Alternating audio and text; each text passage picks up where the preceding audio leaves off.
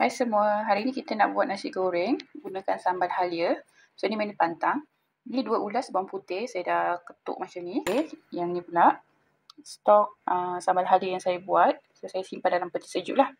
Uh, ni saya memang guna untuk makan dengan lauk pantang ataupun saya buat nasi goreng. So bahan-bahan simple je.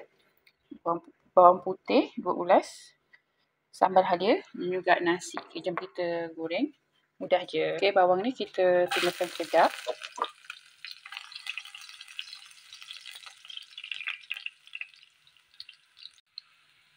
Kemudian kita masukkan sambal halia ni. Saya letak dua sini. So, kita tumis sehingga sedikit garing.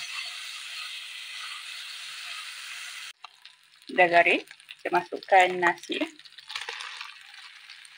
Nasi ni. Kita lau je. Tinggal kejap.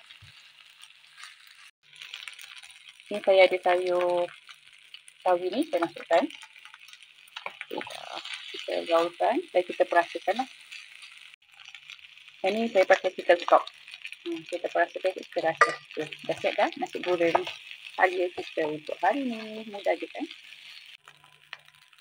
Alhamdulillah.